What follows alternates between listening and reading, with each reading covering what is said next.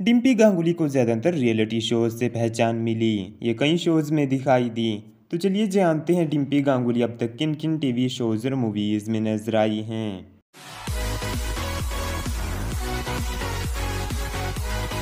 डिम्पी गांगुली ने अपने television career की शुरुआत 2010 में की थी। सबसे पहले स्टार प्लस के शो तू संग प्रीत लगाई सजना में दीपिका का रोल करती दिखाई दी। इसके बाद इन्होंने स्टार प्लस के पॉपुलर शो ये रिश्ता क्या कहलाता है? में अंजना का रोल किया। सहारा वन के शो कहानी चंद्रा कांता की में इन्होंने नागिन की भूमिका निभाई। सोनी टीवी के शो। बड़े अच्छे लगते हैं सीज़न वन में इन्होंने प्रीतिका का रोल किया था। स्टार प्लस के शो।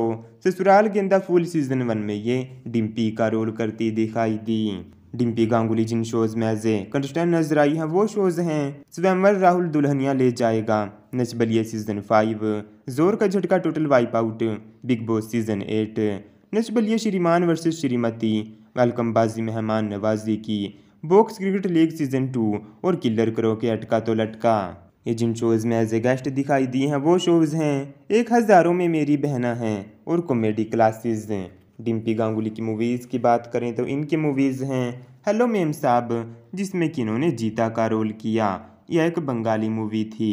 स्वाभूमि में ये सॉन्ग अपीयरेंस देती नज़र आई, यह भी एक बंगाली फ़िल्म ही है। तो ये हैं डिम्पी गांगुली के अब तक के सभी टीवी शोज़ और मूवीज़ की लिस्ट आपको इनका कौन सा शो पसंद है?